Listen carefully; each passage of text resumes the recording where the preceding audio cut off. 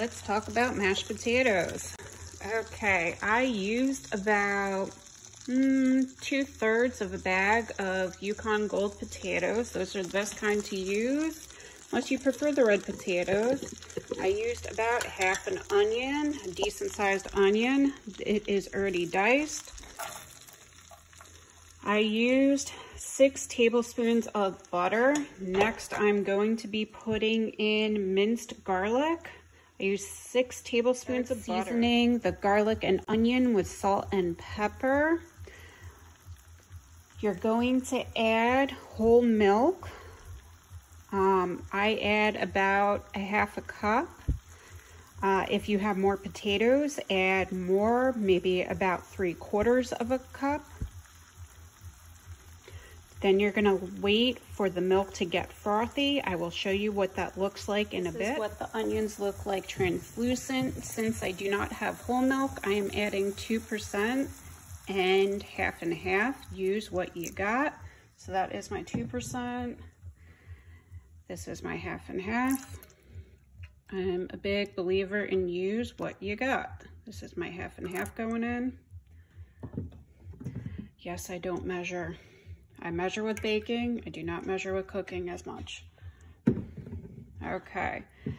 So we are going to wait for this to get frothy. So I'm raising the, raising the temperature. This is when I'm going to be adding even more seasoning. Stir it slowly so it doesn't get all over the sides unless you have a deeper pan. I have now drained the potatoes. Good trick I learned is an electric hand beater. So once this is done, I'm gonna add the liquid to the potatoes, but this needs to get nice and frothy. So we will get there. Takes a couple of minutes. It is now bubbling up. The butter and the milk are separating a bit. This is what I call getting frothy.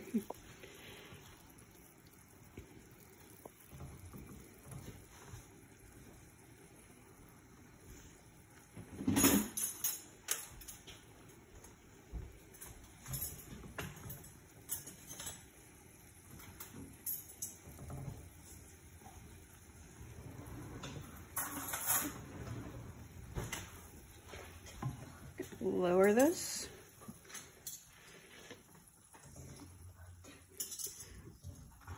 I only want to cook this now for another minute, minute and a half longer.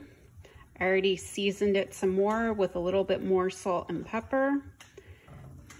So I seasoned it about one or two times during the butter and another time more with the milk.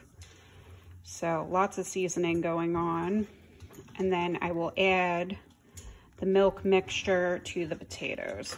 So scrape the sides.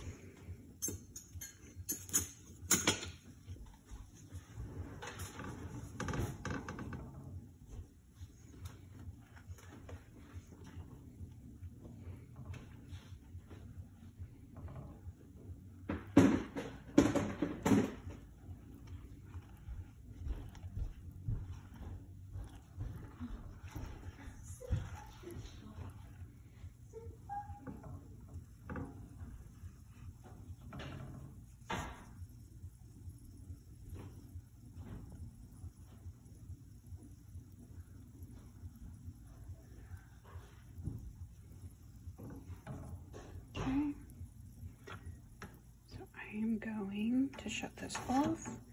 I'm pour this into, whoop, into my potatoes.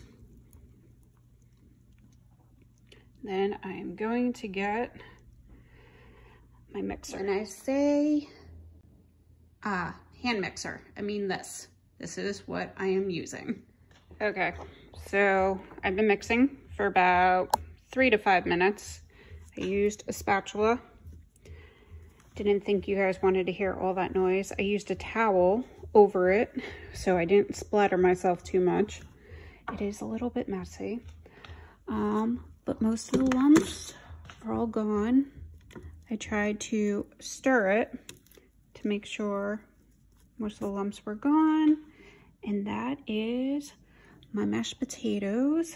I got the recipe from my husband's uh, sister. So there are our family's mashed potatoes. That's it.